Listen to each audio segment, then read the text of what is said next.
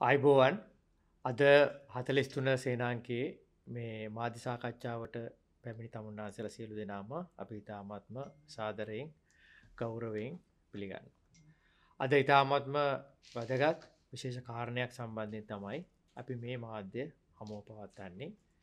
ඉතාමත්ම කනගාටුදායක මට්ටමට රටේ ජනමාධ්‍ය නිදහසත් පුද්ගලික නිදහසත් විශේෂයෙන්ම විපක්ෂයේ දේශපාලන ක්‍රියාකාරීන් දඩයම් කිරීමත් පිළිබඳ ඉතාමත්ම අවාසනාවන්ත සිද්ධි රාශියක් මේමට වාර්තාවමින් තිබෙනවා. එම නිසා ඒ සම්බන්ධයෙන් මහජනය අවදියෙන් කටයුතු කළ යුතුයි කියන පණිවිඩේ දෙමින් අපට සම්බන්ධයෙන් විස්තරටිකක් තිබෙන ප්‍රකාශ කරන්නට ඒ සම්බන්ධනය අද අපි මේ මාධ්‍ය හමුව පවත්වන්න. මේ වන විට මේ රට භාරාරගෙන පාලනය කරමින් තියෙන ආණ්ඩුව රටේ ආර්ථිකය දියුණු කිරීමේ පැත්තෙන් ගත්තත් රටේ මහජන සුභසාධනය වැඩි දියුණු කිරීම පැත්තිෙන් සම්ම පැත්තිෙන් ගත්තා.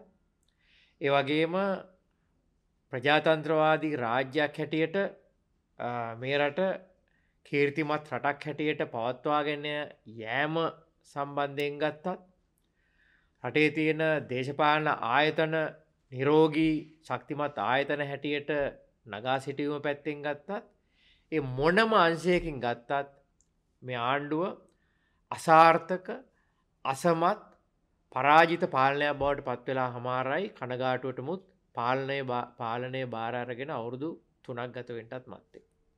තාමත්ම කනගාටුදායක තත්ත්වයක් මේ වගේ තත්ත්වයක් ලංකාවේ බිහිවුණු කිසිම ආණ්ඩුවකට මෙහෙම අත්පත් වෙලා නෑ. රටේ දේශපාලනච්චයන්ට විශේෂයෙන්ම ආණ්ඩුව කරවන දේශපාලනච්චයන්ගේ ගෞරවය නැති වෙලා තිබෙනවා. එගොල්ලන්ට බලය තිබෙනවා. බලයෙන් ගෞරවය විතැන් වෙලා තිබෙන. මිනිසු ගරු කරන්නේ නෑ. මිනිසු හිනා වෙනවා. හෝ කියනවා.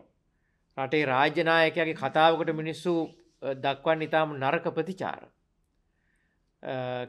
කිසිම ගරුත්වයකින් සලකන්නේ ආණ්ඩුවේ ජනාධිපතිගේ ඉඳලා මැති ඇමතුවරු ඉඳලා කිසිම කෙනෙක්කු. ගෞරවය නැති වෙලා තිබෙන. මෙන්න මේ අසමත්කමයි මෙන්න මේ ගෞරවය අහිමි වී යාමයි නිසා. අද මේ පාලක කණ්ඩායම වියරුවෙන් හැසිරෙනවා. වියරු වැටලා තිබෙනවා. ආණ්ඩුව බිඳ වැටිමින් තිබෙන එක පැත්තේ මහජන අවකාශයේ මහජනයාගේ සිස්සතන් තුළ මහජනගේ හදවතේ ආණ්ඩුව නැහැ මිස ආදරය කරන්න මේ පාලකයන්ට එම නිසා අනි පැත්තින් තමන්ගේ එකම කටයුත්තක් ව සාර්ථක වෙලා නෑ එම නිසා දැන් මේ අයි වියරුවෙන් දඟලන්ඩ පටන් කරන්තිබෙන. ඒ නිසා අපට පෙනෙනවා තමන්ගේ විවේචකයන්ට වගේම තමන්ගේ දේශපාන විරුද්ධවාදීන් එල්ල කරගෙන ඉතාමත්ම නිහීන නින්දිත පිළිකුල් සහගත ප්‍රහාර මාලාවක් අපිට මේ පහුගේ කාලය අපි දකිට තිබෙනවා. මේ පෙරේද වෙනකොට මාධ්‍ය නිදහස් මාධ්‍යවේදියකු වන චමුදිත සමරවික්‍රම මහතාගේ නිවසට තාම බියගොලු මට්ට මේ කැත ප්‍රහාරයක් එල්ල කරලා තිබුණ. නානදුන පිරිසක් ගිහිල්ලවරලා. ඒවගේම තමයි සමාජ මාධ්‍ය ක්‍රියාකාරිකයකු වන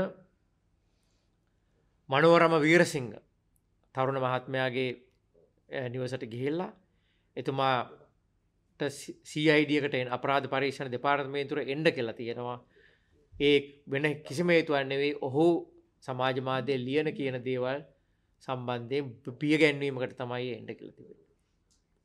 ඒ වගේම තමයි අපි දැක්කා අර පාස්කෘ ප්‍රහාරය සම්බන්ධයෙන් තමන්ගේ තමන්ගේ නිදහස් අදහස් තාර්කිකෝ පෙළගස්සල ඉදිරිපත් කරපු ශෙහාන් මාලක මහත්මයා සුදුවෑන් එකක් යවල පැහැරගෙන දැන් එතුමා අත්තඩංගෝට අරගෙන තිබෙනවා. මෙහෙම ගත්තාම පසේ රටේ අද අපිට පේනවා ආණ්ඩුව සම්බන්ධයෙන් සුළු මට්ටමේ හෝ විවේචනයක් ගේන බලපෑම සහගත මාධ්‍ය ක්‍රියාකාරකයන් සමාජ මාධ්‍ය ක්‍රියාකාරකයන් බියගැන්වීමටත් දඩයන් කිරීමටත් යම් කිසි සංවිධානාත්මක වැඩපිළි වෙලා ගෙන යමින් තිබෙනවා කියලා අපට ඉතාමත්ම පැහැදිලෝ පෙනෙට තිබෙන. ඒ වගේම තමයි රටේ දේශපාලන ක්‍රියාකාරකයෙන් ගත්තොත් හෙම මේ තත්ව ඊට වැඩිය භයානකයි. ඒක ප්‍රධානම ඇගිල්ල දිග්වෙලා තිබෙන්නේ.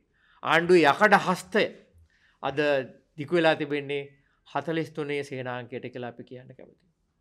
හතුලස් තුනේ සේනාංක ඉලක්ක කරගෙන අද එක පැත්තකින් අනියම් තර්ජනය කරනවා රජයේ ලොක්කෝ ලොකු තැන්වල අය අනියමෙන් තර්ජනයල්ල කරනවා මහා සෙනග ඉස්සරට ගිහිල්ල. අනි පැත්තෙන් ගත්තොත් එහෙම අද අපේ රැස්වීමක් තියාගන්ට හෝල් එකක් දෙන්නේ ආණ්ඩුව බලය පාවිච්චි කරලා ඒවා ඒවාලං කරල දාන්න. වගේම තමයි විශේෂයෙන් සඳහන් කරන්න තියෙන අපට ආරංචි ලැබිල තිබෙනවා හතිලෙස්තුන සේනාන්කේ නායකය හැටියට කතු කටයුතු කරන පාටලි චම්පි කරනවක හිට පමාත්තුමා එල්ල කරගෙන ඉදිරි දෙනවලදී මහා විශාල මඩ ප්‍රහාරයක් මඩ පෝස්තර් ව්‍යාපාරයක් දියත් කරන්නට යම් යම් කල්ලි කණ්ඩායම් සූදානම් වෙලා ඉන්නවා කිය. වගේ අපි දැක්කා ජනතා විමුක්ති පෙරමුණ ජනතා විමුක්තිපුරේ නායකයින්ට කුණු බිත්තර ප්‍රහාරයක් එල්ල කළා. මේ හැම දෙකම පෙනෙන්නේ ආණ්ඩුවේ වියරුවයි. මේ බලය අයිවිමී යාම නිසා බලයත් එක තිබිචි ගෞරවය නැතිවී යාම නිසා රට සාර්ථකව පාලනය කරගණ්ඩ බැරීම නිසා මේ අය අසමත් ෆේල් වෙච්චි පාලක කල්ලියක් බව කුඩා දරුවාට පවා වැටහෙන්ඩයාම නිසා ඇතුල්ලා තින වියරුව නිසා අද උත්සාගන්න ආණ්ඩුවට සැබෑ අභියෝගයක් වෙලා තිබෙන දේශපාලනායකින් වගේම තමයි ආණ්ඩුව පිළිබඳ සාධාරණ තාර්කික විවේචන දැනෙන සුළුවාකාරයට ඉදිරිපත් කරන මාධ්‍යකරුවන් එල්ල කරගෙන දඩයමක් බියගැන්වීමක් දියත් කරලා තිබෙන. ආණ්ඩුව ආණ්ඩුවේ නිල සන්නද්ධ යන්ත්‍රණ වගේම අපට පේනවා නොනිල සන්නද්ධ කල්ලිත් ක්‍රියාත්මක වෙන බව අපට පෙනෙන්ට තිබෙන. එම නිසා අපි මේ වෙලාවේ රටේ දැනුවත් පුරවැසියන්ගේ ඉල්ලා සිටිනවා මේ බියගැන්නේ මොලට යටවෙන්ට එපයි කියන එක අපි ඉස්සෙල්ලම කියන. වගේම තමයි රටේ මාධ්‍ය ක්‍රියාකාරකන්ට මාධ්‍ය සංවිධානවට එල්ල කරනවා අද ගෙවල්ලුවට කුණු බිත්තර ගහයි අසූචි ගහයි එම නැත්තං සුදුවෑන්නෙවයි මෙවැ දරුණු අදකී මේ ක්‍රියාවලිය ඉස්සරට ගිහෙන් ඇතිවෙන දරුණු අදකීමට අපි රටක් හැට මුණ දිල තිබෙනවා. කත්වුවරු මරලදාලා තිබෙනවා. අතුරු දහන් කරලා තිබෙනවා. අතපය කරලදාලා තිබෙනවා. දේශපාලන ක්‍රියාකාරකයෙන් හිටි හැටියේ උස්සගෙන කියලා මරල දාලා තිබෙනවා. එතෙන්ටද මේ රට පත්වෙන්ඩ යන්න කියලා අපට සැකයක් තිබෙනවා. එම නිසා මේ තත්ත්වයට එරිය වහා නැගී සිටින්ට කියලා පිල්ලා සිට. ඒවගේම තමයි රටේ නීති හා සාමය ක්‍රියාත්මක කරන පොලිසියට පොලිස් පෙත්තුම ඇතු පොලිසිට අපි ඉල්ලා සිටිනවා. වහාම මේවා සම්බන්ධයෙන් දේශපාලන හස්තයන්ට යට නොවී. පිළිකුල් සාගත නින්දිත දේශපාලන නියෝගවලට යට නොවී. රටේ නීතිය හා සාමය ආරක්ෂා කරන්න මැදිහත්වෙන්ට කියලා. ඒවගේම තමයි මිනිසුගේ පුද්ගලික ගෞරවය පුද්ගලික නිදහස භාෂණය නිදහස ලේඛනය නිදහස අදහස් ප්‍රකාශ කිරීමේ අයිති ආණුකුමස්ථාවෙන් තහවුරු කරලා තියෙන මේ මේ වැදගත් පුද්ගල නිදහස් අයිතිවාසිකම් ආරක්ෂා කරන්නට කැපවෙලා වැඩ කරන්න කියලා අපි පොලික පණිවිඩයක් දෙන්ට අපි සූදාන. වගේම තමයි ආණ්ඩුවට අපි කියන්නේ කරුණා කල්ලා තමන්ට ලැබිචි ජනවරමට ගරු කරලා ඉවර වෙලා මේ රටේ ප්‍රශ්න විසඳන්ට සූදානමට රටේ ආර්ථිකය දියුණු කරන්න. රට විශාල නයාර්බුද්ධයකට පත් වෙලා තිබෙනවා. මේ නයාර්බුද්ධයෙන් ගොඩෙන්ට වැඩ කරන්න. ඒවගේම තමයි රට උග්‍ර බදු බරක් ජීවන බරක් මිනිසුන්ගේ පිට පටවල තිබෙනවා ඒකෙන් මහජනතයාට සහන සලසන්ට වැඩ කරන්න. රට ජාත්‍යන්තර වසයෙන් අප කීර්තියට පත්වමින් තිබෙනවා රටේ කීර්තිය දිනාගන්ට වැඩ කරන්න. මෙන්න මේවා කරන්න ඇතිහිද තමයි රටේ මේ ජනතාව ගිය ජනතාවගේ පැත්තෙන් රටේ මාධ්‍ය පැත්තෙන් විවේචනයක් කැල් වෙලා තිබෙන්නේ. විකල්ප දේශපාලනයක් මතුවමින් තිබෙන්නේ. එම නිසා අනුන්ට මට ගහලා අනුන්ට අසූචි ගහලා අනුන්ට මඩ පෝසර් ගහලා තමන්ගේ විවේචනකයම් බයගන්නවල ඉවරලා ආණ්ඩු කරන්න බෑ. එහෙම ආණ්ඩු කරන්න හිතපු අය ඉතිහාසයත් ගිය ඉතිහාසය කුණු බක්කියට. එම නිසා වහාම මේ දඩයම නවත්තන්ට කියලා අප ආණ්ඩුවට මතක් කරන්නට කැමති. හත්ලිස්තුන් වන සේනාංකේ සභහපති හිටපු පාර්ලිමේන්තු මන්ත්‍රී නියෝජ්‍ය අමාත්‍ය කරු පරණවිතාන මැත්තුමාගෙන් එවගේම හත්ලිස්තුන් වන සේනාංකේ තරුණ සංවිධානයේ ප්‍රධාන සම්බන්ධීකාරක සහ විධායක සභික තීක්ෂණ ගම්මන්පිල මහතාගෙන් අවසරයි. අද ඇත්තටම මම විශ්වාස කරනවා රටක් විදිහට අපි තීරණාත්මක තැනක ඉන්නේ. මේ තැන නිර්මාණය වෙන්නේ කොහොමද කියන අතීතය අපි පොඩ්ඩක් සිහිපත් කරගන්න ඕනේ. අතිගරු ජනාධිපති නන්දසේන ගෝටාබේ රාජපක්ෂ මහත්මයා ජනාධිපති අපේක්ෂකයා විදිහට කරලියට එන්නේ පාස්කු ප්‍රහාරයෙන් පස්සේ.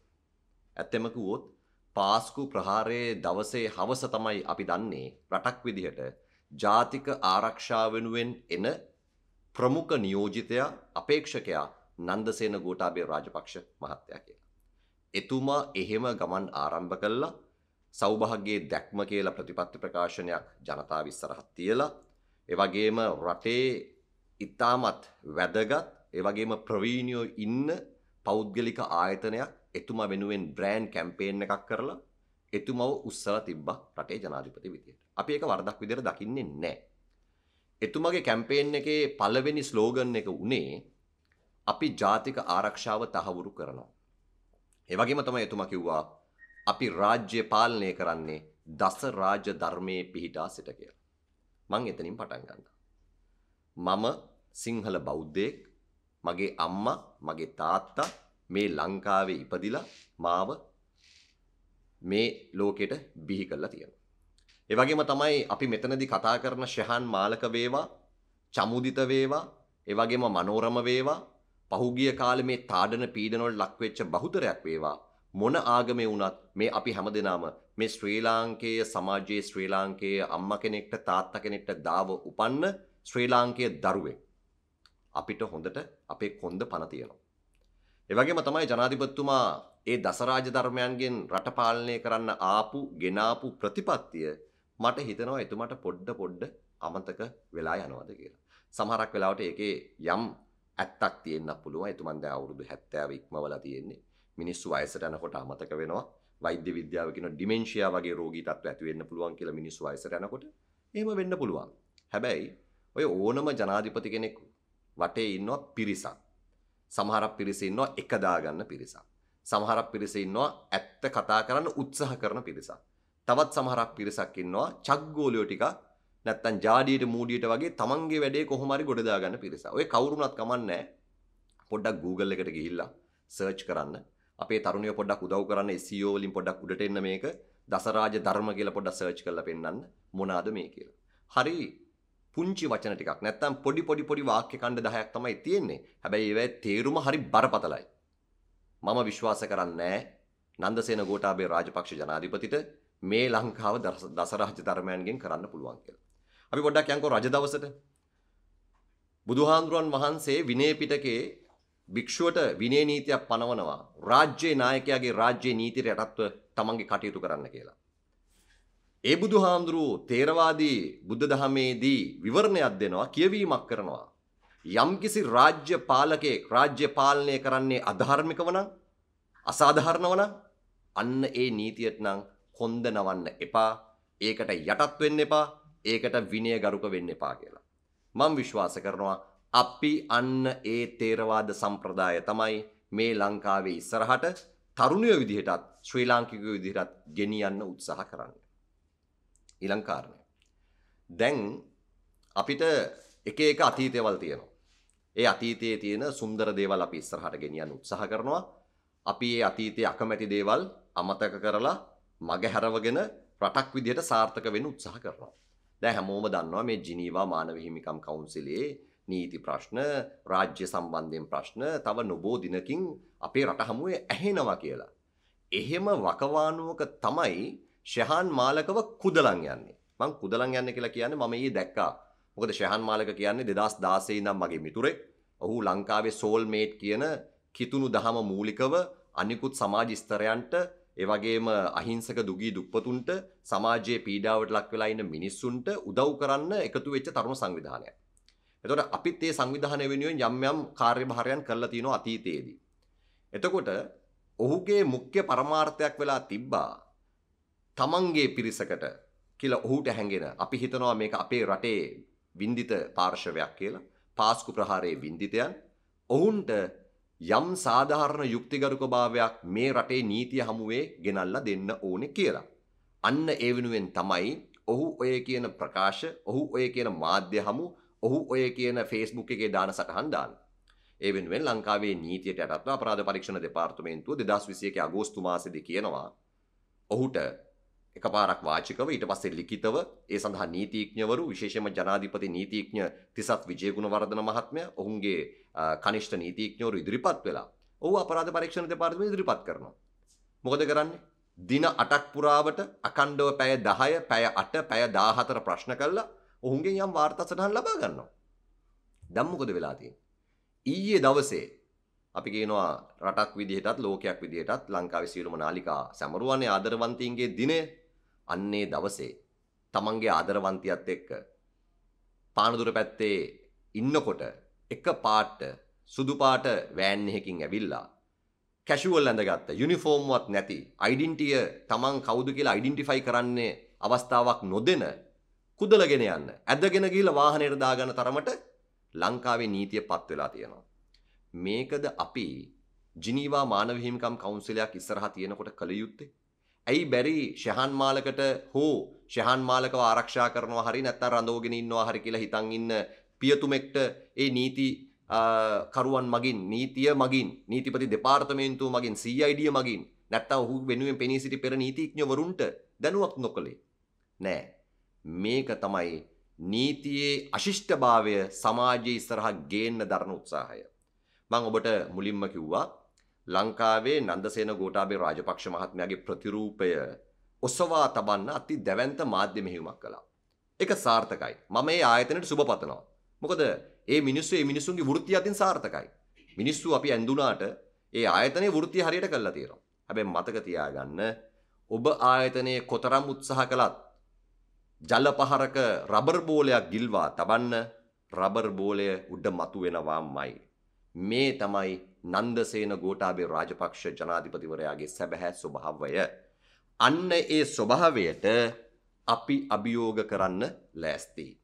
ඔබතුමා හිතනවා නම් ඔබතුමාගේ මේ යන ගමන අපි ඔක්කොම අනේ එහෙයි මරු අර 69 ලක්ෂය එවකට ඡන්දය දුන්නාසේ අනේ අපොයි රෙස්පෙක්ට් සර් කියලා අපි ඉඳී කියලා මම විශ්වාස කරන්නේ තවදුරටත් ලංකාවේ කොන්ද පණ තියෙන එක තරුණයෙක් හරි ඉන්නවා නම් එහෙම කරන්න අවස්ථාව දෙයිද අපි මේක මම මොන පක්ෂයේද මම ඉන්නේ මොන කඳවුරේද මම දරන්නේ මොන මතයද මගේ ආගමික වටාපිටාව මොකද්ද මම NGO කාරයේද එහෙමත් නැත්නම් මම වෙනයම් මාධ්‍යයක හෝ මොඩලයක මිනිස්සෙක්ද කියන එක වැදගත් වෙන්නේ නැහැ.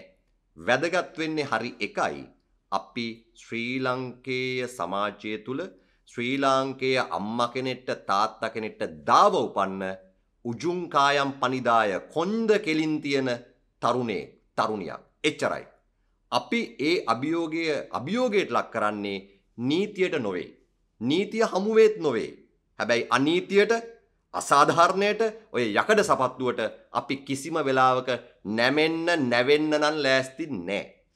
ඒක සමහරක් වෙලාවට නන්දසේන ගෝඨාභය රාජපක්ෂ මහත්තයා දැනුවත්ව හෝ නොදැනුවත්ව වෙන ගජමිතුරු කල්ලියක් හෝ ජඩ පාලකයෝ ටිකක් කරන්න උත්සාහ කරනවා වෙන්න පුළුවන්. හැබැයි ඒකට තමයි ඔබතුමාට තියෙන්නේ නීතිය ක්‍රියාත්මක කරන්න. ඔබතුමා කිව්වේ එක රටක් එක නීතියක් කියලානේ. හැබැයි මම අහන ඔබතුමාගෙන් මම ප්‍රශ්න කරනවා ඒ එක රටක් එක නීතියක් මම දැක්කේ නෑ. කුෂාන් ගුණවර්ධන පාරිභෝගික සේවා අධිකාරී අධ්‍යක්ෂ ජනරාල්වරයා ලංකාවේ ගෑස් වල මිල සංයුතිය සහ එහි තියෙන අභ්‍යන්තර අපි කියන්නේ ගෑස් වල සංයුතිය වෙනස් කිරීම සම්බන්ධයෙන් අපි මේ නීතිය දැක්කේ නෑ තාම.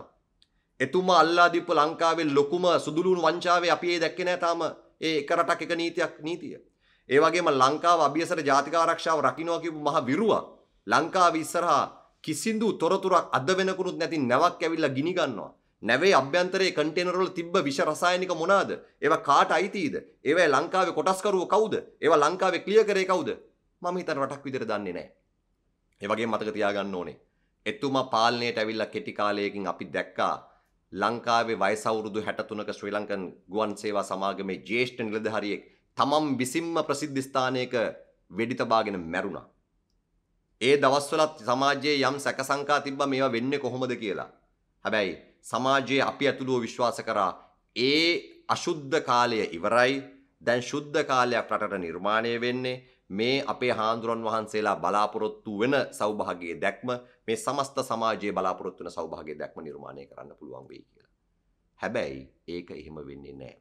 අපේ හාන්දුරන් වහන්සේලා දැන හෝ නොදැන යම් අවස්ථාවක දානවලට වැඩලා ඒ දාන දානානුශාසනා ඉදිරිපත් කරනකොට කිව්වා පුණ්‍යානුමෝදනා කරනකොට කිව්වා අපේ රටට ඕනේ හිට්ලර් වගේ පාලකයෙක් කියලා. මෙන්න දැන් එන්න පටන් අරන් තියෙනවා.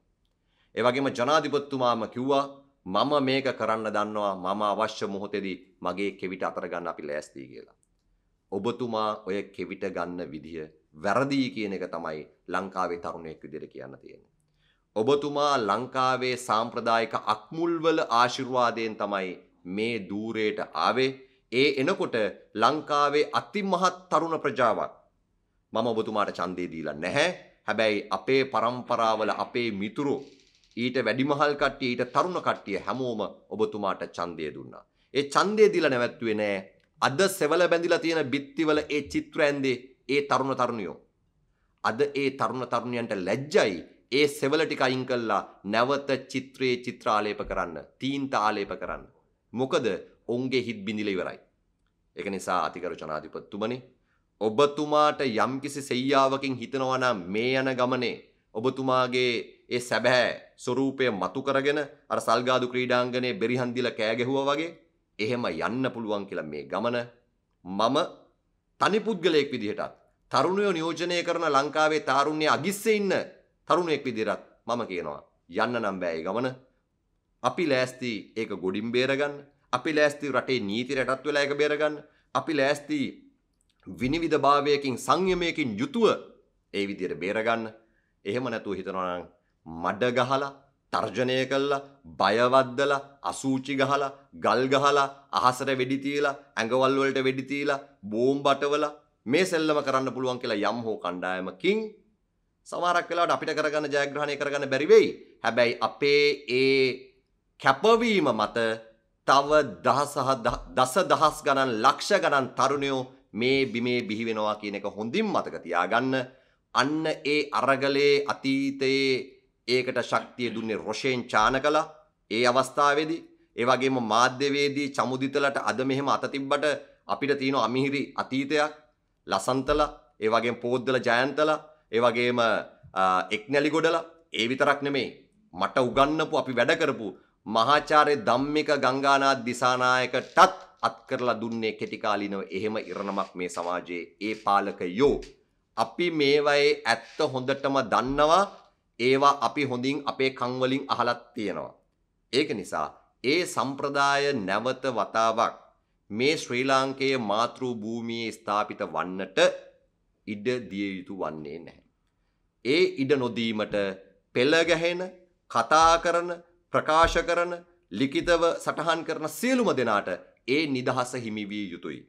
අන්න ඒ නිදහස තියාගෙන ඔබතුමා ඔබතුමාගේ දේශපාලන මතයත් එක්ක මේ රටේ රාජ්‍ය කරවන්න අපි ඒකට කිසිදු ආකාරයකින් බාධා කරන්න හෝ හිරිහැර කරන්න බලාපොරොත්තු වෙන්නේ නැහැ. ඔබතුමාගේ ජනප්‍රසාදය කොහොමද තියෙන්නේ කියලා ඔබතුමාම හොයාගන්න. මම ඔබතුමාට පුංචි උදාහරණයක් කියන්නම්. අතීතයේ ලංකාවේ හිටපු රජවරු චරපුරුෂයෝ දාලා ගම්වලට යවලා, ගෙවල් වලට යවලා, රැස්වීම් වලට ඇරලා ඒ ළඟම ඉන්න තොරතුරු ලබා ගත්තා. ගිහිල්ලා රජා අහනවා ඒ චරපුරුෂයන්ගෙන් මොකද මුන් මං ගැන කියන්නේ කියලා. එතකොට ඔන්නේ චරපුරුෂයා කොච්චර රජාට ගැතිද කියනවා නම් ඒ හරි පණිවිඩය තමයි දෙන්නේ. නැත්නම් අරේ බයිනකොට කියන්නේ අම්මා ඔබතුමාව උස්සලා තියෙනවා මරු තව ටිකක් ඒ විදිහටම තමයි උන් කරන්න කියන්නේ කියලා කියන්නේ නැහැ. ඒක තමයි ලාංකේය සංස්කෘතිය ඇතුලේ බිහි වෙලා තිබ්බ රාජ්‍යත්වයේ සංකේත. රාජ්‍යත්වයේ ක්‍රමවේද. ඇතම් අවස්ථාවක රජාට හිතනවා මේ කියන එක බොරු වෙන්න පුළුවන් කියලා. රජා යනවා වේශය මාරු කරගෙන වෙනත් ස්වරූපයකින් වෙනත් වේශයකින් මේ මිනිස්සු ගාවට ගිහිල්ලා තමන්ගේ කන් දෙකෙන්ම අහලා යනවා. ඔබතුමාටත් කරන්න කාලය ඇවිල්ලා තියෙන්නේ කියලා අපිට හිතෙනවා. මොකද 69 ලක්ෂයේ දීපු මිනිස්සෙකුත් දැන් හොයාගන්න නැහැ. ඒ වගේම ඔබතුමාගේ හොඳක් අහන්න පුළුවන් ඔබතුමන්ගේ වරදානයක් වරප්‍රසාදයක් ගත්ත මිනිස්සෙක්ගෙන් හැර සාමාන්‍ය පොදු මිනිස්සෙක්ගෙන් අපිට අහන්න ලැබෙන්නේ නැහැ. මේක ඇත්ත. මම ආරාධනා කරනවා ඔබතුමන්ලගේ ළඟ ඉන්න ඔය නාමල් රාජපක්ෂ මහත්තයලට ඒ වගේම අපි දන්න අඳුන්න මිලින්ද රාජපක්ෂලට පොඩ්ඩ ජනාධිපතිතුමාට කිට්ටු වෙලා කියන්න. මොකද මිලින්දල එහෙම එදා ඒ දවස්වල ලිව්වා අයිතිකාරයෝ බාර නොගත් ලිපි කියලා. මම ආරාධනා කරනවා මිලින්දලට දැන් ලියන්න ළඟන ඉන්නේ අයිතිකාරයෝ බාර ගන්නා ලිපි කියලා ලියලා ජනාධිපතිතුමාට මේ වෙන දේවල් ගිහිල්ලා පොඩ්ඩක් ඉදිරිපත් කරන්න. ඉදිරිපත් වෙලා කියන්න මේ යන්නේ වැරදි ට්‍රැක් එකක. මේ ට්‍රැක් එක රටටත් හොඳ නෑ රටේ පුරවැසියන්ටත් හොඳ නෑ ජාත්‍යන්තර හමුවෙත් හොඳ නෑ. අපි මේ ට්‍රැක් එක වෙනස් කරගමු. ඒ වෙනස් කරගන්න ඕන යම් සහයගත් තියෙනවා නම් ලංකාව කියන මාත් මේ රට බේරගන්න. අපි ලෑස්ති දිවිහිමියෙන් ඒකට කටයුතු කරන්න. එහෙම නැතුව නම් යකඩ සපත්තු වලට පෑගිලා යකඩ සපත්තු වලට බය වෙලා අපි මේ ගමන යන්න නම් සූදානම් වෙන්නේ නැහැ. මම තීක්ෂණ ගම්බන් පිල හතලිස්තුගන සේනාන්ගේ තරුණංශය ප්‍රධාන සම්බන්ධිකාරක විදියට කටයුතු කරනවා මමිතන්නේ මේ මාධිසාකච්ඡාවට හොඳ ප්‍රවේශයක් හතලිස්තුගන සේනාන්ගේ සභාපති කරු පරණවිතාන හිටු අමාත්‍යමා සහ විදායක සභික දනුෂ්කරාමණයක මැත්තුමා අරන්දුන්න ඇත්තරම මේ වෙද්දී මට කියන්න තියෙන්නේ මේ ගෝටාබේ රාජපක්ෂ මැත්තුමාගේ ආණ්ඩුව ඇවිල්ලා අපිට හිමි අපේ මහජන ධනය දේපල මංකොල්ල කෑව නමුත් අද එතනින් එහාට ගිහිල්ලා මේ සූදානම් වෙන්නේ අපේ පුද්ගලය විදිහට මේ පුරවැසියන්ගේ අයිතීන් මංකොල්ල කන්න තම මේ ගෝටාබේ රාජපක්ෂ මැත්තුමාගේ ආණ්ඩුව කටයුතු කරන්නේ. ඒක අපි ඊයේ දවස සිදි තුනක් වුණා. චමුස්දගේ ප්‍රහාරය ඒවගේ මනවරම් සියඩ ප්‍රශ්න කිරණ එක ඒවගේ ශයහන් අත්තරංගොට ගන්න එක මේ අවස්ථාව අපිට දැන් ආරංචුනා මාලික මාලිකන් දුසාවියෙන් ඇප ලබාදුන්න කියලා ශයහන් සහෝදරයට එක බොහම අපිට සන්තෝසයි නමුත් මෙවැනි පීඩනයන් පුද්ගල අයිතිීත් මර්ධනය කරන්න මේ ආණ්ඩුව කටයුතු කරන යනවා. මේ පුද්ගල අයිතිංවලට පස්සේ මේ ආණ්ඩු ඉලක්ක තමා මේ ආණ්ඩු විරුද්ධව මේ රට සත්‍යය හෙළි කරන සංවිධාන ඒ දේශපාල නායකයන් ඉලක්ක කරගෙන මේ මර්ධනය තර්ජනය මේ බියවැද්දී මට ප්‍රචාර එල්ල කරන එක ඔවුන්ගේ ඊලං කාර්යභාරය. ඔවුන්ද ඒ දේවල් අද පටන්ගෙන තියෙනවා. හතරස්තුගන සේනාංක විදියට අපි ජාතික සමලෝ තිබ්බා ජනවාර් විස්තුන්ගෙනදා එතරින් පස්සේ අතලිස්තුවන සේනාංක අපි සැලසුම් කරලා තියෙනවා ගොඩ එමු ගොඩනගමු කියන මේ අපේ සමුළු දිවෙන පුරා ක්‍රියාත්ම කරන්න. අපි අන්රාධපුරේ මහනුවර ගම්පහ මාතර වගේ ප්‍රදේශවල අපි දැන්ට සැලසුම් කරලා තියෙනවා. මම කියන්න මේ ගෝටාවි රාජපක්ෂ මහත්තා එතා සල්ගාදු පිට්ටනේදී අන්රාධපුරදි කියනවා මේ මේ සංවිධානයක නම නොකියා නායකෙක් ගැන කියලා ප්‍රහාරයක් එල්ල කරන ඒ හතලිස්තුගන සේනාංක තමයි ප්‍රහාර එල්ල කරන්නේ අපි අන්රාධපුර දිස්ත්‍රික්කේ අපේ ගොඩේම ගොඩනගමු සම්මන්ත්‍රණය පෙබරවාරි විසිවෙන්ද තියන තීරණය කරලා තියෙනවා.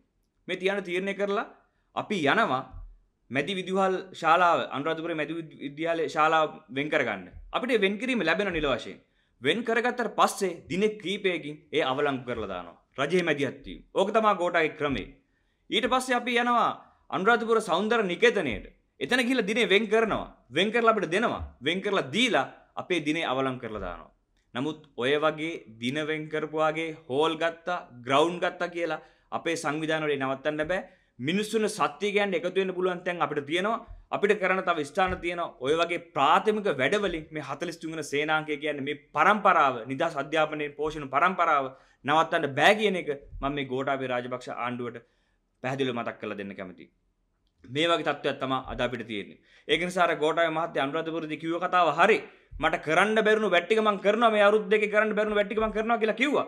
තව කට්ටිය කිව්වා මොකද්ද? කෙවිට අතර ගන්න ඕනේ කියලා කිව්වා. මට මතකයි තව ඇමති කෙනෙක් එක දවසක් කිව්වා කපුටු එකෙක් මරලා තටු ටික එල්ලුවා නම් ඇති ඔක්කොම කපුටු මරන්න ඕනේ නැහැ කියලා. මේ ඒ ක්‍රියාකාරීත්වය මර්ධනය තමයි අද පටන් ගන්න තියෙන්නේ.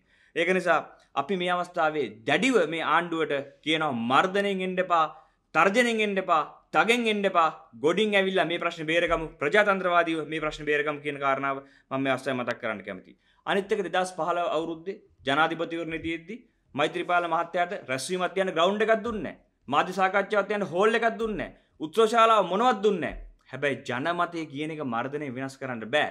එදා ආණ්ඩු බල තියාගෙන මහින්ද රාජපක්ෂ මහත්තයා මේ වගේ බාධා කරද්දිත් ජනාධිපතිනු ජයග්‍රහණය කරේ මෛත්‍රී පාල සිරිසෙන මහත්තයා. ඒගැන්න මේ ජනමතයත් එක්ක මර්ධනයෙන් එන්න බෑ. අනිත්තක අද මේ රටේ මිනිස්සු කට කහනට ආණ්ඩු විචන කරන්න මේ රටේ මිනිස්සු මේ වැඩක් නැතුවට ආණ්ඩු විචන කරන්න ඇමතුරට බයින්න ජනතුර බයින්න හේතුවත් තියෙනවා. ඇතුළතින් එන පීරණයක් එක්ක තමා අද ආණ්ඩු විරෝධය ඇවිල්ලා තියෙන. ඒක නිසා මර්ධනය තර්ජනය දාලා මේ මිනිස්සුන්ගේ පීරණය තව දෙගුණු දෙගුණු කරගන්නවා විනා ඒ ඒ පීරි නවත්තලා ජනමතයකින් මේ අන්ඩු නැවතත් තවත් ගමනක් යන්න බෑ කියන කාරණාවත් මම මේ අවස්ථාවේ මතක් කරන්න කැමතියි. අනිත් වැදගත්ම කාරණාව තමයි අද මේ ආණ්ඩුව ජාතික මට්ටමේ ක්‍රියාකාරී නිදහසේ කතා කරන මිනිස්සු ෆේස්බුක් එකේ කමෙන්ට් පස්සේ මේ කමෙන්ට් දාලා ඒ මිනිස්සු පස්සේ පන්න අවස්ථාවක මේ ආණ්ඩුව කරන මේ මර්ධන ක්‍රියාවලිය ග්‍රාමීය ආණ්ඩුවට හිතවත් චණ්ඩිටිකත් ආදර්ශයට ගන්නවා. මං ගමේ මිනිසුන්ට කියන්න කැමති. ඔබ තමුන්නාන්සේලට ඔබගේ මතයක් ස්වාධීනව ගම ඇතුළෙවත් ගම සමිතයකවත් ඉදිරිපත් කරන්න වෙන්නේ මේ ජාතික තල්ලේ තියෙන ආදර්ශ වැරදි ආදර්ශයත් එක්ක. ඉස්සරහට වෙන්නේ ගමේ ඉන්න පොහොටු චන්ටික් ගිහිලා ඒවත් මර්ධනය කරනවා. ගෙවල් වලට ගල් ගහයි. පොළුවරන් ගහන්න පන්නයි මෙන්න මේ වගේ දූෂිත ක්‍රියාදාමයක් අනාගතය මේ රට තුළම ව්‍යාප්තනවා මේ ආණ්ඩුව දෙන වැරදි ආදර්ශත්ක කියන එක මම මේ අවස්ථාව මතක් කරන්න කැමති. හැට්ටම ලක්ෂය චන්ද දුන්න තමයි හැබැ හැටනම ලක්ෂය චන්දීලා එයාලගේ බලාපොරොත්තු ඉස්ටුනේ නෑ මම කියන්නේ හැටනම ලක්ෂයට වගකීමත් තියෙනවා තමන් දන්නවා තමන් කරපු දේ වැරදි නමුත් ඔවුන්ට දේශපාලනික වක්කීමක් තියෙනවා දැන්වත් හරි තැනකට ගිහිල්ලා මේ රට හරි පාලකයන්ට බාර දෙන්න ඔවුන්ගේ වටිනා ඡන්දය පාවිච්චි කරන්න 69 ලක්ෂයට වගකීමක් දැන් තියෙනවා. ඔවුන්ට තමයි වැඩිපුරම වක්කීම තියෙන්නේ. ඔවුන් තමයි මේ රැවටිලා ගිහිල්ලා කොළ මල් පොචි තිබි මිනිස්සෙක්ව කුණු ටික අයින් කරා කියපු මිනිස්සෙක්ව රට ජනාධිපති වෙනකම්ම කටයුතු කරේ මේ 69 ලක්ෂය. ඔවුන්ට වගකීමක් තියෙනවා දැන් මේ රට නැවත වරක් හරි ට්‍රැක් එකකට ගන්න හරි පිරිසකට බාර දෙන්න ඔවුන්ට දැන් වක්කීමක් තියෙනවා. ඒක නිසා මම කියන්නේ ඔය 69 ලක්ෂය මිනිස්සුන්ට මම මුලින්ම කියන අපේ හිතවත් අයට මම මුලින්ම කියන්නේ තමන්ගේ පක්ෂයේ පවුලෙන් පිට රාජපක්ෂ පවුලෙන් පිට නායකයෙක් තෝරගන්න ඉස්සලා සටන් කරන්න. මේ රට හොඳ නායකයෙක් කියන්නේ රාජපක්ෂරු විතරක් නෙමෙයි. තව නායකයෝ ඉන්නවා. ඒ නිසා ඒ වෙනුවෙන් සටන් කරන්න, ඒ වෙනුවෙන් පෙනී ඉන්න වෙච්ච දේ වෙලා ඉවරයි. ඔබට හැකියාව තියෙනවා අනාගතේ තමන්ගේ දේශපාලන තීන්දුව හරියට ගන්න කියන එකත් මම මේ අවස්ථාවේ මතක් කරන්න ඕනේ. ඒක නිසා අවසන් වශයෙන් මේ රටේ ජීවත් වෙන තරුණයෙක් විදියට මං කියන්න කැමති මේ තර්ජන ගර්ජන දාලා මේ රටේ උගත් තරුණ පරම්පරාව වලක්වන්න නවත්තන්න ගෝටාය මහත්තයාගේ ආණ්ඩුවටවත් මේ පොලිසිවලටත් අනීතිකව නවත්තන්න අවස්ථාවක් දෙන්න ඒ වෙනුවෙන් තරුණයොත් එක්ක අපි දිවිහිමෙන් සටන් කරනවා කියන එකත් මම මතක් කරන්න කැමති ඒත් එක්කම රාජපක්ෂ පවුලේ දුවදරුවෝ අද පිටට ලස්සනට ජීවත් වෙනවා. සාමකාමී රටවල කියලා ජීවත් වෙනවා. අපිටත් වෙන රටවලට යන්න අවස්ථාව තියෙද්දි අපි මේ ඉන්නේ. අපිට ඕනේ මේ රටේ සාමකාමීව ජීවත් වෙන්න. ඒක නිසා ඔබගේ දුවාදරුවන් සාමකාමී ජීවත් වෙන රටක් වගේ රටක් තමත් තමයි අපිත් මේ ලංකාව තුළ බලාපොරොත්තු වෙන කියන කාරණා මම මතක් කරන්න කැමතියි. ඒක නිසා මම සියලුම දේශපාලනය අමතක කරන්න මේ තියෙන දූෂණය මර්ධනය ඒව ගැන මතක් කරලා මම මේ තරුණ ප්‍රජාවගෙන් ඉල්ලීමක් කරනවා. එකතු වෙන අපිත් එක්ක මේ ආණ්ඩුවේ මේ අනීතිකව කරන ක්‍රියාදාම වලට විරුද්ධව අපි තරුණ විදිහට පෙළ ගැහෙන්න ඕනේ. මේ ආණ්ඩුව වෙනස් කරලා මේ රටේ යහපත් උසස් දේශපාලන සංස්කෘතිය ඇති කරන්න අපි මේ රටේ තරුණ විදිහට එක්කාසු වෙන්න ඕන කියන ආරාධනයත් කරමින් මගේ වචන සල්පය අවසන් කරනවා. ස්තුතියි. ඔබතුමාලා මේ දිගින් දිගටම මේ මාධ්‍ය සාකච්ඡාවේදී තුකලේ මර්ධනය ගැන මාධ්‍ය මර්ධනය ගැන කතා කරනවා. එතකොට අප දකින්න රාජපක්ෂ ඔහුගේ ආණ්ඩු කාලයේදී අවසාන කාලේදී මේ මර්ධනයක් ඉදිරියට ආවා. එතකොට මේ සමහර විට කියන්නේ මේ ආණ්ඩුවේ අවසානයේද කියලා. ඇත්තම ඒක තමයි අපි කිව්වේ. ආණ්ඩුව හැම පැත්තකින්ම අසාර්ථකයි. රටක ආණ්ඩුවක් බලයට පත් වෙන මම කලින්ම කිව්වා වගේ රටේ මිනිස්සුන්ගේ අතමිට සරු කරලා තියෙනවා. ආර්ථිකය දියුණු කරලා තියෙනවා. මිනිස්සුන්ගේ ආදායම් වැඩි වෙලා තිබෙනවා. මිනිස්සු එදාට වඩා අද ණය බරින්, බදු බරින්, ජීවන බරින්, කුසගින්නෙන්, අසහනෙන්, අපේක්ෂා භංගත්වයෙන් පෙළෙනවා. ආණ්ඩුවට මොකක්ද දීලා තියෙන උත්තරේ? මිනිස්සුන්ට අත්‍යවශ්‍ය සේවාවන් ටික ලැබෙනවද? ගෑස් ටික, ඉන්ධන ටික, විදුලි බලය අකණ්ඩුව ලැබෙනවද? නැහැ. රෝහලට ෆාමසිට ගියාන් අත්‍යවශ්‍ය බෙහෙත් ටික ගන්න තියනවද? නැහැ. ඒ හැම තැනකම විශාල කඩාවැටීමක් පෙනෙන්න තිබෙනවා. බැංකුවට ගියාන් ණයක් ගන්න තියනවද? නැහැ. කඩේට ගියාන් බඩු ගන්න තියනවද? නැහැ. ඒ පෙරමුණ සම්පූර්ණයෙන්ම ආණ්ඩුවේ ආර්ථික කළමනාකරණය මුළු මනින්ම අසාර්ථක වෙලා තිබෙනවා. අනිත් පැත්තට ගත්තොත් එහෙම රටේ මහජන සුබ සාධනය විශාල ශීඝ්‍ර වශයෙන් බිඳ වැටලා තිබෙනවා. ආණ්ඩුවක් අවශ්‍ය වෙලා තිබෙන්නේ නිකන් රැසීදිල කෑකෝ ගහන්න විතරක් නෙවෙයි. මිනිස්සුන්ගේ දෛනික ප්‍රශ්න විසඳන්න. අද ඒවා එකක්වත් කරගන්න බැරි වෙනකොට තමන්ගේ නොහැකියාවම නිසා ඇතිවෙච්ච වියරුව. වියරුවෙන් තමයි මේ තමන්ගේ විවේචකයාට එරෙහිව අතුරු හමුදා යවන්නේ, සුදු ඈන් යවන්නේ, CID එක ලව්වා තර්ජනය කරවන්නේ මඩ ගහන්නේ මඩ පෝසර් ගහන්නේ කුණු පිත්තර ගහන්නේ. අවසානයේ ලං වෙලා. කියන්නේ ජනතාවගේ හදවතේ ආණ්ඩුව ඉවරයි දැන්. දැන් තියෙන්නේ ඔය අටවගත්ත වුයිහුවේ ටිකේ තියෙන ආණ්ඩුවක්. අල්ලීගහ මන්දිරේ ආණ්ඩුවක් තියෙනවා.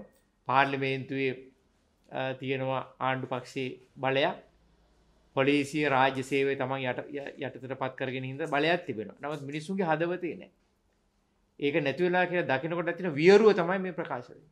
දැන් තවත් එකක් කියනවා මේ වර්තමානයේ ඊයේ දැක් මුදල මත ප්‍රකාශ කරලා තියෙනවා මේ EPF එකට සහ ETF එකට පොදුරක් අය කරනවා කියන කාරණා. එතකොට දැන් ඒදී ඇයි මේ අයවැයක් තියෙද්දි අයවැයට ඉදිරිපත් කරපු නැති වේදම් අයවැයක් පස්සේ ඉදිරිපත් කරනවා. අපි රුපියල් 5000 මුදලක් වටි පොඩි සාකච්ඡා කළා තියෙනවා. ඒ වගේ තමයි අයවැයට මේ අයවැයෙන් දාපු නැති බදු පස්සේ දානවා. එතකොට ඇත්තටම මේ අය මේ තේරුමක් තියෙනවා. නෑ ඇති අයවැය තේරුමක් තිබෙනවා රටක අයවැය කියන ඉතාම වැදගත් ලේස් ලේඛනයක් මේ රාජපක්ෂල වගේ මේ ජාවාරම්කාර පාලක පැලැන්තියක් එක්ක මේ රාජ්‍යය ලේඛනයක් කෙනෙකට කිසිම තේරුමක් නෑ අයවැය ඉදිරිපත් කරනවා නිකං කොල කැල්ලක් හැටියට. ඊට පස්සේ තමන්ට ඕන ඕන වෙලාවල් වලට බදු පනුවල ඉවර වෙලා ගැසට් ගහලා ගහපු ගැසට් රිවර්ස් කරලා ආය ගහලා විවිධාකාරයට කරනවා. මේ ඔබ ඉදිරිපත් කළේ වැදගත් ප්‍රශ්නයක්.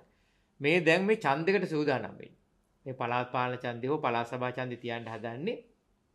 එතකොට ඒ ඡන්දය තියන්න ගමේ ඉන්න ඒ පොහොට්ටු යන්ත්‍රණයට දේශපාලන හයියක් තල්ලුවක් දෙන්න ඕනේ සල්ලි ටිකක් පොම්ප කරන්න ඕනේ. ඕක අයවැය තිබුණේ නැහැ. එම නිසා දැන් කරන්න හදන්නේ මිනිස්සුන්ගේම මුදලින්. ඒ කියන්නේ සේවකාර්සාධකාර මුදලේ මිනිස්සුන්ට තිබිච්ච මුදල්ම මිනිස්සුන්ට ලැබෙන්න තියෙන ප්‍රතිලාභ නවත්තලා ඒ ඉහළ පොලි අනුපාතය නවත්තලා ඉවර වෙලා ඒවා මේ කොන්ක්‍රීට් වලින් යොදවන්න හදනවා. ඡන්දෙ දිනා ගන්න හදනවා. මේ මොකද්ද කරන්න හදන්නේ? රටේ විශාල ඩොලර් හිගයක් තියෙද්දි ඉස්ප්‍රිතාලයක බෙහෙත් පෙත්තක් නැතුව තිබෙද්දි මේ පාලම්බෝක්කු හදලා ඡන්දයක් දිනා ගන්න අර්ථ සාධක අරමුදලට කෙලින්ඩයි මේ හදන්නේ. ඒතර ඒව ගත්තාම පස්සේ රටේ සාර්ව ආර්ථික කළමනාකරණය රටේ වැදගත් රාජ්‍ය මූල්‍ය කියන ඒවා ඒවා මේ රාජපක්ෂලත් එක්ක නිකාම නිකම් විහිළු සාගත වචන විතරයි. කනගාටුයි අපේ රටේ එතනට පත් වෙලා තිබෙන්නේ. දැන් බලපින් රාජ්‍ය ආදායම උට පහකට දෙන්නේ කොයි ප්‍රශ්න එතකොට දැන් මට මතක මම නිවැරදිව ඩොලර් මිලියන 80 රුපියල් මිලියන 85000ක් කියලා තමයි මට මතක හැටියට ග්‍රාමීය මට්ටමින් දිනු දෙන ලක්බඩ ලක්ෂයක් කියන කාරණා විදාන්නේ. ඒක රාජ්‍ය ආදායම අඩුයි. එතකොට එහෙම තියෙද්දි මේ වගේ මුදලක් විදක් කරන සල්ලි ඇති වෙන්නේ බෑ. දෙකක්. ඔව්. එක කාරණා. එතකොට මේනකොට ඉතිහාසයේ පළමු වතාවට උද්දමන වේගය 110.2කට ගිහිල්ලා තියෙනවා. මේ කරන වියදම් වලින් උද්දමන වේගය තවත් වැඩි වෙන එක නේද? ඔව් ඇත්තෙන්ම ඔබ කියපු එක කාරණයකට මගේ ප්‍රතිචාරයක් දක්වන්න කැමතියි. මේ රටේ රාජ්‍ය ආදායම නැති වුණේ අඩු වැඩුනේ සහ මේ රටේ මේ ආර්ථික පරිහානියට හේතුව මේ කෝවිඩ් රෝගයම නෙවෙයි. කෝවිඩ් වසංගතයම නෙවෙයි. ඒ බලපෑවේ නෑ කියලා මම කියන්නේ නැහැ. කෝවිඩ්ම නෙවෙයි. දැන් අපේ කලාපෙම කෝවිඩ් පැතුරුණානේ.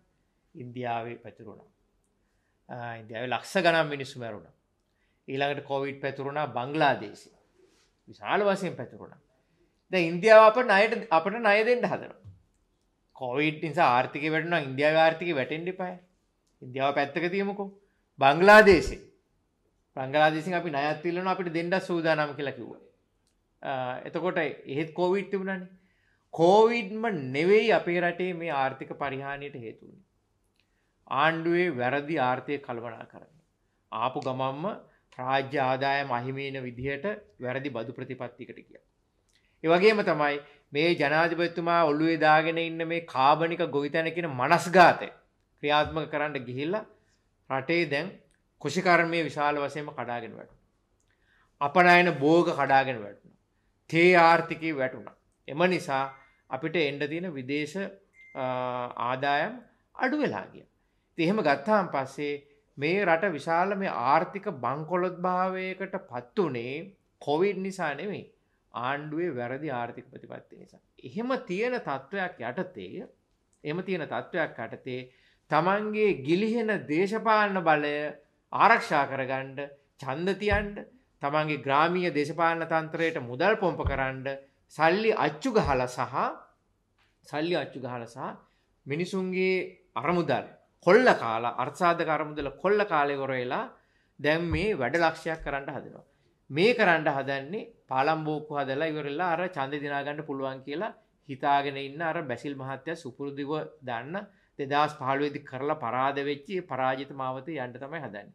හැබැයි විශේෂයෙන්ම ගත්තොත් එහෙම මේ එක දිගට එක දිගට මේ මල්වානට ගිහිල්ලා මුදල් අච්චු ගහලෙන කරලා කරගෙන වැඩෙන් වෙලා තිබෙන්නේ රටේ මිල මට්ටම ශීඝ්‍රයෙන් වැඩි වෙලා තියෙනවා. ඇත්තම මුදල් අච්චු ගහනවා කියලා කියන්නේ මොකක්ද දන්නවද? මිනිස්සු වැඩියෙන් බදු ගෙවනවා කියන එක තමයි. ඇයි වෙනදට වැඩිය මුදලක් ගෙවනවා කියලා කියන්නේ භාණ්ඩයකට මිනිස්සුගේ බදු බර එන්න එන්න වැඩි කරනවා කියන්නේ. ඒ වගේම ධනුෂ් මහත්මයා තමයි මතක කළා ජිනීවා ගැටලුව පිළිබඳව. එතකොට දැන් ඉලකිනවා දැන් වර්තමානයේ කියනවා අපිට ඒ යුද්ධයට මූලික දුන්න හමුදා නිලධාරීන් ජිනීවා එක ප්‍රශ්න කරන්න බලාපොරොත්තු වෙනවා. එතකොට මේ වගේ දැන් ඔබතුමාලා කියව වගේ මර්ධනයනකොට ඒකත් අපිට ඉතින් බලපායි. ඕ ඇත්තරම අ, මේ රට අ, මේ යුද්ධයෙන් පස්සේ අ, යුද්ධයෙන් පස්සේ මේ මේ යුද්ධයේ ප්‍රශ්නය මේ රටේ ඇතිවිච්ච සිවිල් යුද්ධයේ ප්‍රශ්නය ජාත්‍යන්තරය කරණය කළේ මේක ජාත්‍යන්තර ප්‍රශ්නයක් බවට පත් කළේ මහින්ද රාජපක්ෂ මහත්තය. එයා තමයි එක්සා ජාතික සංවිධානයට වෙන්ට ආරාධනා කරලා ඒ ක්‍රියාවලිය ආරම්භ කළේ එතනි.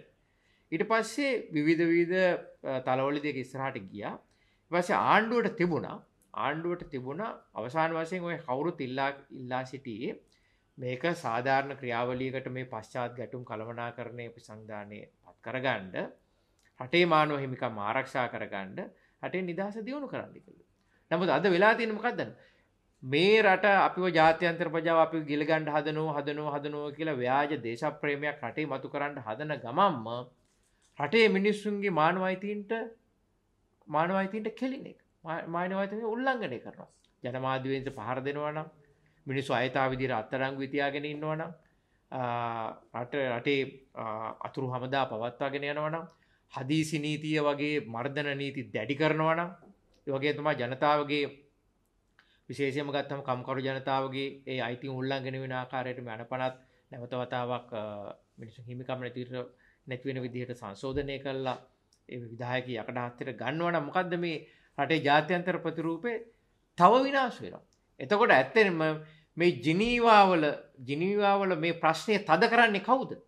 ආණ්ඩුව තමයි තද කරන්න. ආණ්ඩුවේ අද දවසේ ක්‍රියා කලාපේ හෙට ජිනිවාවල තව ප්‍රශ්නයක් ඇති කරනවා. අද මාධ්‍යවේදියකොට ගහනකොට එක ලබන අවුරුද්ධ ජිනිවා ප්‍රශ්නයක් බවට පත්වෙනවා. එම නිසා ඇත්තෙම්ම මේ රටේ ප්‍රතිරූපය කෙලෙසලා ඉවර වෙලා ආය අපි ඉස්සරහට එන්න පටන් ගනී කියලා මේ ජාත්‍යන්ත ප්‍රජාව අපි තද කරනවා කියලා. නෑ ඇත්තෙම අද මාධ්‍යවේදිකට අත තියෙනකොට අද විරුද්ධවාදීන්ට ගහනකොට හෙට මේක ජාත්‍යන්තර ප්‍රශ්නයක් බවට පත් වෙනවා. මේ රට ජාත්‍යන්තර වශයෙන් හුදකලා කරන්නට ජාත්‍යන්තර වශයෙන් අපි කොන්වෙන්ඩ අද බලපාන්නේ මේ රාජපක්ෂලාගේ මර්ධනීය පාලනයම තමයි. ඔබතුම ඇහුවනේ මේ ආර්ථිකයට මොකක්ද වෙලා තින බලපෑම කියලා ඇත්තර මේ මේ ගෝටාබේ රාජපක්ෂ මහත්මයාගේ සෞභාගය දැක්ම ආර්ථිකය දියුණු කළ තියෙනවා. කොහොමද දන්නවද? එතුමන්ගේ ගජමිතුරු කීපය.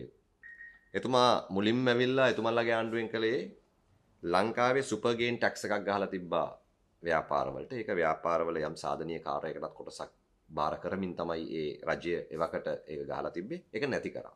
නැති කළා ලංකාවේ රාජ්‍ය ආදායමෙන් අති බහුතරයක් ගොඩනගා ගන්න දායක වෙච්ච ඒ කොටස රාජ්‍ය ආදායමෙන් අඩු කරා. හරිනේ. මොකද කරේ? කට්ටියකගේ ආදායම ස්ථිර කරා. ඒ සුපර්ගේන් ටැක්ස් එක ගහලා අර පෝසත් වෙලා නැත්නම් බලකාමෙන් මුදල්කාමෙන් ඇලලිලා හිටපු මිනිස්සු ටිකකට තව ටිකක් ඒකෙන් ආඩ්‍ය වෙන්න මේ ආණ්ඩුව හදලා දුන්නා. ඒ වගේම ඊට පස්සේ තව හොඳ ජොලියක් හදලා දුන්නා. ඒ තමයි සීනි වලට බද්ද 725 කළා. ටොන් මිලියන ගණන් ඇතුළට එන්න දීලා. අන්න ඒ ආර්ථිකය වැඩි දියුණු කරා. කාගේද ගජමිතුරන්ගේ. ඒ වගේම තමයි ට්‍රැවිස් සිංහයියා ලංකාවේ මේ නාවික හමුදාවේ බිහිවෙච්ච 21 වෙනි නාවික හමුදාපති. ඔහු ප්‍රසිද්ධිය ඇවිල්ලා කියනවා මේ නාවික හමුදා කර්මාන්තයේ මේ මුහුදු මංකොල්ලකරුවන් සම්බන්ධයෙන් යම් පාලනයක් විනයක් නෛතිකභාවයක් තියෙනවා නම් ඒක ඇති කරගත්තේ කොහොමද? ශ්‍රී ලාංකේය නාවික හමුදාවේ හමුදා නිලධාරීන් කොච්චර දිනෙක දිවි පුදලද මේ තත්ත්වය ඇති කරගත්තේ කියලා. අන්න මෙතුමා පෙර පරිදිම ගජමිතුරන්ට සලකලා ඒක මේ නාහ ඒක ආයි පරණ තත්ත්වෙට මැදලා දීලා තියෙනවා. අන්න ආර්ථිකය දියුණු කරලා තියෙනවා. හැබැයි රටේ නෙමෙයි. අන්න එතනයි වැදගත්කම තියෙන්නේ. රටේ නෙමෙයි. රාජපක්ෂ පරම්පරාවේ රාජපක්ෂයේ පවුලේ රාජපක්ෂ ගජමිතුරන්ගේ. අපි කියන්නේ අන්නේ මුදල් මේ රටේ සමස්ත පුරවැසියන්ටම අයිති. ඒ මුදල් රාජ්‍ය භාණ්ඩාගාරයට එන්න දෙන්න. ඒ මුදල් රාජ්‍ය භාණ්ඩාගාරයට ගෙනල්ලා ලංකාවේ තියෙනවා ජාතික භෞතික සැලැස්මක්. මේ ජාතික භෞතික සැලැස්ම කියන එක හිටපු මහා ප්‍රතාපවත් ජනාධිපතිවරයෙක් වෙච්ච මහින්ද රාජපක්ෂ මහත්මයා කිව්වේ අපි තමයි හැදුවේ කියලා. ඒ අපි තමයි හදපු කියන ජනාධිපතිවරයාට අමතක වුණා ලංකාවේ අවුරුදු 8කින් ඒ ජාතික භෞතික සැලැස්ම නිර්මාණය කළා ගොඩනගන්න. හැබැයි ඒක කරා නමේ මහනගර හා බස්නාහිර සංවර්ධන ඇමතිවරයා විදිහට පාටලි චම්පික රණවක. ඔහු හැදුවා හැම දිස්ත්‍රික්කයකටම හැම ගමකටම හැම විශේෂ ශේත්‍රයකටම ඒ ඒ ශේත්‍රවල ඉන්න ප්‍රාමාණිකයෝ ගෙනල්ලා එහෙම එකක් හැදුවා. ඒ හදලා කිව්වා මෙන්න රටේ මූලික අවශ්‍යතා. මෙන්න ප්‍රමුඛතා. මේ ප්‍රමුඛතාවලට ගොඩනැගිල්ලක් ඉදි වෙනවා නම් ලංකාවේ ජාතික විදුලි බල පද්ධතියේ සැපයුම කොච්චර විදිහකට වැඩි වෙන්න ඕනද? කොච්චර ප්‍රතිශතයකින් ඉහළ යන්න ඕනද? ඒ ප්‍රතිශතයට ඉහළ යනකොට ඒක ගන්න ලංකාවේ ජල විදුලියේ හැකියාව කොච්චරද? සූර්ය සහ සුළං විදුලියේ හැකියාව කොච්චරද? තාප විදුලියේ හැකියාව කොච්චරද? මේවා විද්‍යානුකූලව හැදුවා. දැන් මේ ආණ්ඩුව කිව්ව විද්‍යානුකූලව ආණ්ඩු කරනවා කියලානේ. අකාර්යක්ෂම පුද්ගලයෝ ඉන්නවා නම් අකාර්යක්ෂකම පරිපාලකයෝ ඉන්නවා අයින් කරනවා කියලා. අපි ඒවට කිව්වා key performer indicators දානවා කියලා. KPIs දානවා කියලා. මට පෙන්වන්නකො ලංකාවේ අද වෙනකොට එක KPI එකක් දාපු ආයතනයක්. එහෙම නෑ. මේ සුපුරුදු ක්‍රියාවලියම යම්කිසි නරිහමක් පොරෝගෙන ඇවිල්ලා සිංහෙක් කියලා කෑගසමින් මෙන්න මෙහෙම කරනවා කියලා කියනවා. එහෙම වෙන්නේ නෑ. ඒක වෙන්න නම් තමන්ටේ අභිමතාර්ථය තියෙන්න ඕනේ. අංක 1 තමන්ටේ උනන්දුව තියෙන්න ඕනේ. අපිට පේන්න නෑ එතුමට එහෙම උනන්දුවක් තියනවා කියලා. එතුමට තියෙන එකම එක උනන්දුව බලය රඳා ගැනීම පමණයි. බලය ගිලිහෙනවාය කියන දැනෙනකොට ඒ හා සමාන තීව්‍රතාවයකින්ම සමානුපාතකතාවයකින්ම එතුමගේ හඬක් වැඩි වෙනවා. එච්චරයි. එතුමගේ හඬ වැඩි වෙලා වැඩි වෙලා වැඩි වෙලා අවසන් වෙන තැනකින් එතුමට තීරණය කරන්න වුණොත් දැන් මේකිනුත් හරියන්නේ නැහැ කියලා වෙන විදිහකුත් කල්පනා කරන්න පුළුවන්. ඒක නිසා එතුමා ආණ්ඩුවේ ආදායම වැඩි කරා ආණ්ඩුවේ නෙමෙයි එතුමගේ ගජ මිතුරන්ගේ